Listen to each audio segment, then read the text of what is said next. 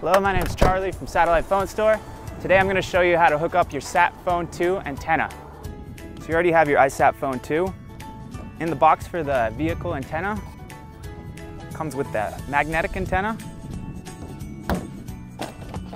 Got a docking station for the phone. One USB charger for the phone.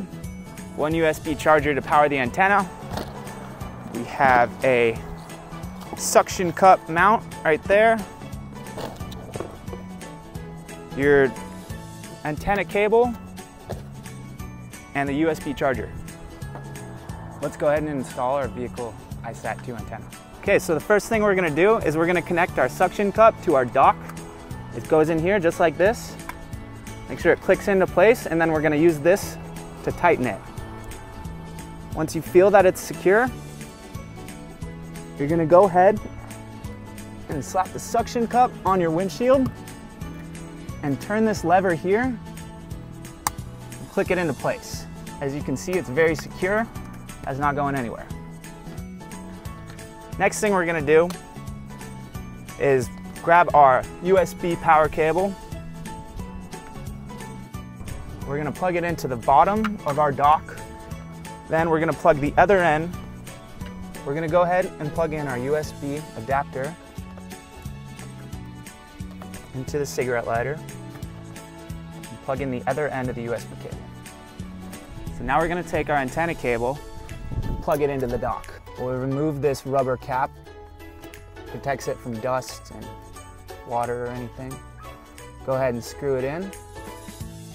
So once your antenna cable is plugged into the dock, the other end you're gonna take and screw right in to your antenna.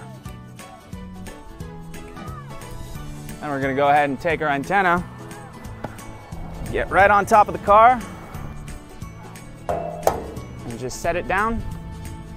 And you'll feel that it's nice and secure. It's magnetic, so it's nice and it's not coming off.